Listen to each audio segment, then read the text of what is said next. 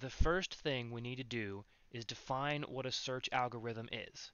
And a search algorithm is a step-by-step -step procedure that searches and looks through some kind of data structure, whether that be some kind of graph, maybe a maze, maybe some kind of tree structure.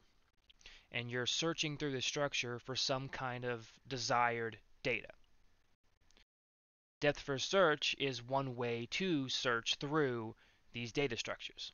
And it does this by picking a starting point and then choosing down a path and going deep down the pathway to try to find the solution or try to find your desired um, information.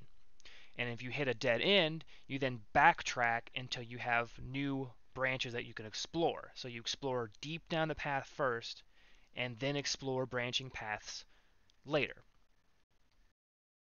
So I've got two examples here. One is going to be with a graph, and the other is going to be with a maze. So in the first example, we're going to decide to start at node A. Node A is the starting position of this graph in this case. So we're going to start at node A, and we want to go to node Z, because node Z is going to hold the information that we want. Doing depth first search, or any searching algorithm for that matter, is you need to give some kind of rule to what path the search initially takes. So for this case, using letters, I will have it go down the path that has the lowest letter or um, alphabetical order. So starting with A, we're going to look at both nodes it's next to, and it's next to a C and an E. C being the first one in alphabetical order, so we'll go to the C. The next places for the algorithm to look for, or the adjacent nodes, is D, E, and R. Well, D is the next node available, so we would go to that node. Then our nodes is S and Z. If you decide to make the algorithm a little bit smarter, you can have it realize that Z is an adjacent node and that's our goal node and just send it straight to Z. If your algorithm is a little more naive and is just following the strict rules, it would then go ahead and go to S first. And then from S, there's only one option. It would then go explore R. Now from R, it's at a dead end because it's already explored C. So there's no point for it going back to C. So it's going to then backtrack to S, and there are no unexplored nodes for it to go at. So we'll then backtrack again to D and look at the adjacent nodes. The next node is Z. It'll then go to Z, and you've reached your goal. Now let's say we wanted to, um, instead of going to Z, we wanted to go to L. For this case, we would still have to go through this same route because we're doing it in alphabetical order, but now when we search C, or now when we search the node Z, we're now at another dead end. So we'll have to again backtrack and go back up to C. And then from C, the next node that's not been visited is E. From E, it searches H. From H, we have K and L. K is the next in alphabetical order, so it goes to K. And then with only one option, goes to Q. It's a dead end, has to backtrack to K, has to then backtrack again to H, and then it has one more option, which is L. So it goes to L, and we've then found our new desired goal. Now let's go to a real-life example, and that's a maze. Whether you know it or not, depth first search is most likely the way that you're going to find the exit and get through a maze. Most people, when they go through mazes, either follow the left turn rule or the right turn rule. And what that simply is, is that you go along the left wall all the way through until you hit the end. Or you go through the right, or you follow the wall on your right side all the way through until you hit the end of a maze. So we'll do just that. For this case, we're going to make it the right wall rule. So we're going to keep the wall to the right as we progress through here. And we're always going to take the right turn. So starting at the start, we come here, hit a, hit a junction. We're going to follow to the right.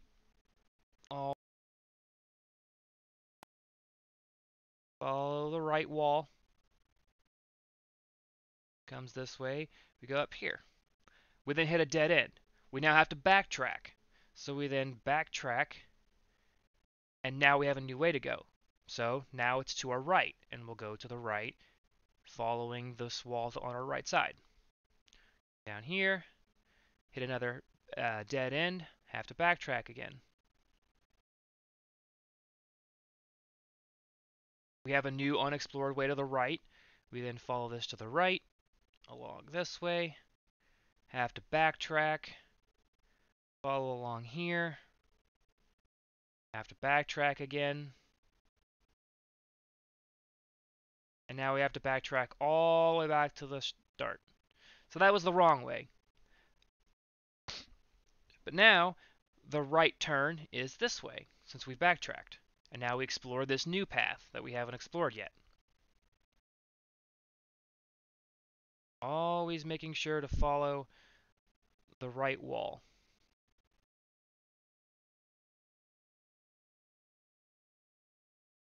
Again, when we hit a dead end, we backtrack.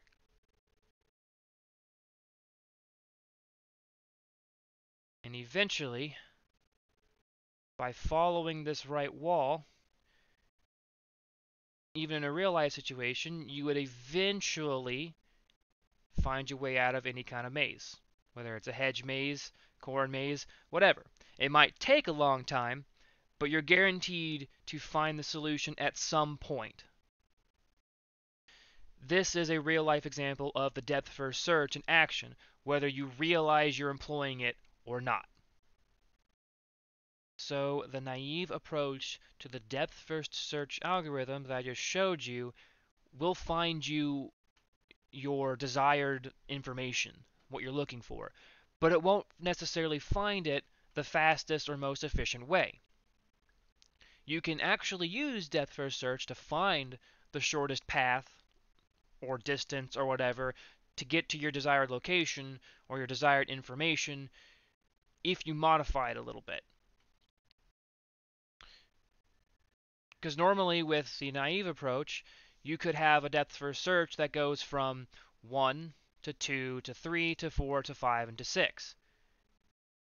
In this path, when we put weights to the graph, uses would add up to 1 plus 6, which is 7, plus 2, which is 8, 9, plus 1 is 10, plus 4 is 14. So the path distance that it took is 14.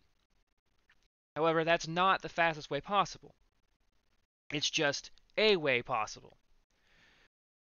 In order for this modified version of depth first search to work on shortest path, you have to have some kind of weight, whether that be distance it takes, whether that is time it takes, whether that's how many steps it takes. Instead of going from node 1, 2, 3, 4, 5, 6, maybe it's just node 1, 2, 3, and you only had to have three nodes instead of six. Whatever weight parameter you want to use it as, you have to have something there. And then, as your depth first searches, it starts by searching normally just trying to find the answer. And then once it finds the answer, it has some kind of distance or some kind of target metric now.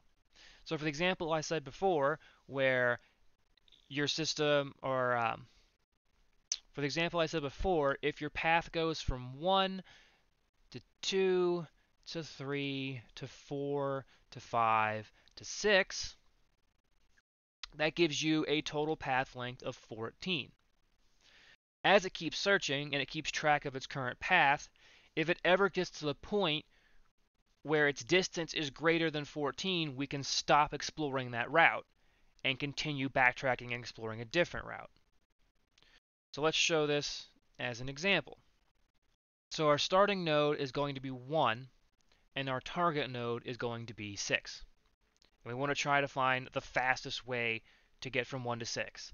Say we're a truck driver and time is money, of course, and you're trying to get from A to 6 as fast as possible so you can go deliver some other package.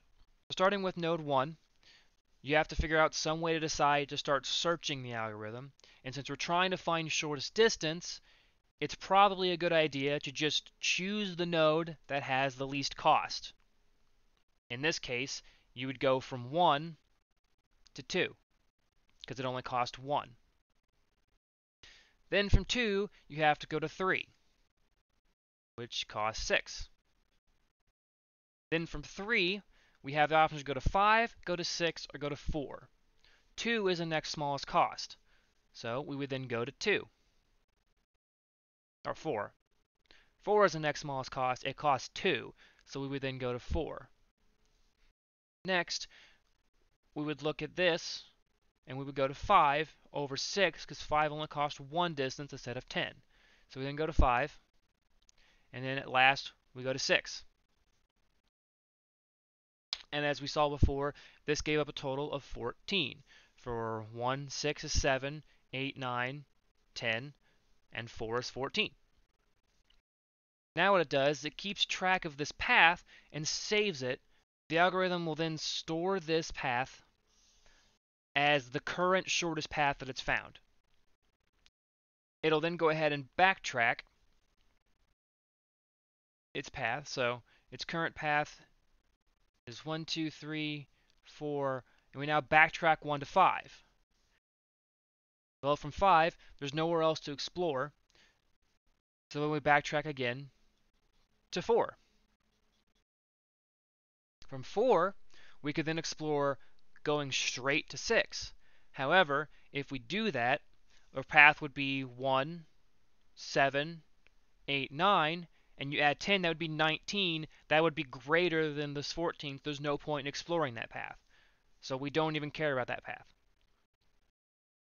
We would then backtrack again. And this time we would backtrack to 3. We now have two other options to go for. Because before we went from 3 straight to 4.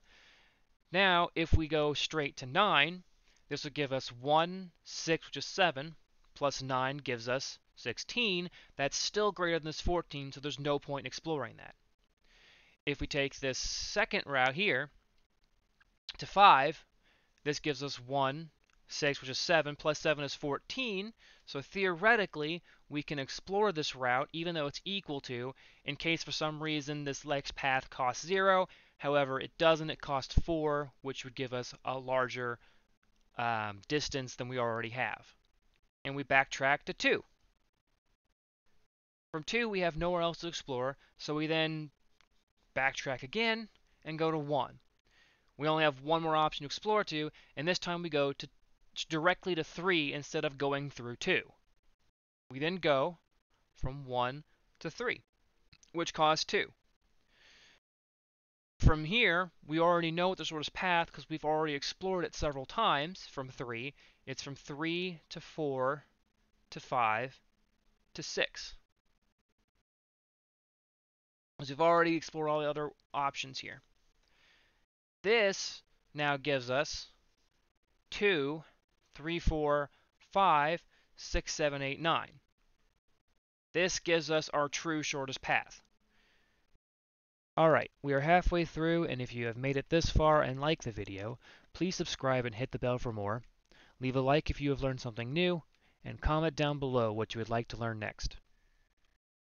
So another search algorithm is the breadth first search. And the biggest difference is in depth first search, you go very deep and tunnel down one path. In breadth first search, you go very wide and explore all the paths kind of at the same time. So the best way to explain it is to just show an example. So we're going to start at node A, and our goal is to get to node we'll say J. In order to keep track of things for breadth first search, you need to use what's called a queue. If you don't know what a queue is, it's exactly what it sounds like it is. It's like a line of people waiting for an amusement park ride. The first people to go in are the first people to go out into the ride. The last people to go into the queue are the last people to be served to go out and go to the uh, ride. Um, if it's a grocery store and you got several people in line to get served to get their groceries checked out and leave, the first people get service first, the last people get service last. First in, first out, last in, last out. In this case, we're going to be putting in nodes. So, our starting node is A, so we will first load A into our queue. Now, the way that this breadth first search works is you look at whatever the first node is of the queue, you load up all of the adjacent nodes to it into the queue, and then you cross it off. You then go to the next node in the queue, which you may have just loaded, look at it, add all of the adjacent nodes up into the queue, and then continue on. Starting off with A, the adjacent nodes to A are B, C, and D. And you can load these up however you want to. But we now need to put B, C, and D in the queue. We're now done exploring A. We don't need it anymore. We now need to look at B. So going down to B, the only adjacent node is E. So we then have to load an E. Now, depth first search would have continued looking down for E, but in breadth first search, we continue with the nodes adjacent to A. So we're going wide and exploring all these adjacent nodes first, and then exploring the adjacent nodes to them, and exploring the adjacent nodes next to those, and so on and so forth.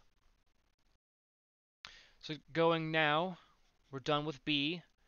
Looking at C, the adjacent node is E. E is already loaded, so we don't need to reload E into the queue. So now we're done with C. We go to D. The adjacent node to D is F. So we load F to the queue, and we're now done with D. E is next, which the adjacent node is G. Still have not hit our desired uh, node yet. So we cross out E. We then go to F. Adjacent nodes are G and I. We don't need to load G back up, so we only load I. Crossing out F. Next is our G. We then have to load H because that's the adjacent node to 8 or that's the adjacent node to G. Uh, we can then cross out G. Next we look at I and we see J and K. We then load J and K. We then go ahead and cross out I. We don't need any more. So then looking at H, H has no adjacent nodes. Then looking at K, well, or J. Well, J is our desired node. So we have found our information or whatever we're looking for. So we're done. Now for a real world example, and an example of why sometimes breadth first search can be a lot faster than depth first search. It depends on your situation. Let's say we're Facebook and someone searches for one of their friend's friend. let's say this is them. And in this case, they've got four friends. Well, this is friend 1. This is friend 2. This is friend 3. And this is friend 4. Each one of these friends has a bunch of other friends. And let's say the, the desired person they're searching for is this person right here. Go ahead and label this person the goal person. Depth first search could get lucky and could start here, search here, and then search here and find it real fast. Problem is, depth first search could also go from here to this person to this person, and you know Facebook is one gigantic network of people. and it could be searching again and again and again and and it could it could search through hundreds of thousands, even millions of people and not find anyone and then have to backtrack and it's just a giant mess. It's awful. It's it's horrible. Breadth first search for this case would work out a lot better. For breadth first search, it would search this person's friends to see if that's the desired location wouldn't find them in any of those, and then would search all the friends of their friends. However, this time you would find it eventually much faster than depth first search. So it's very important when deciding whether to use depth first search and breadth first search, which you actually use for what problem or what system it is. Sometimes it doesn't really matter. Thanks for watching and remember to subscribe and hit the bell for more videos. Leave a like if you have learned something new and comment down below what you would like to learn next.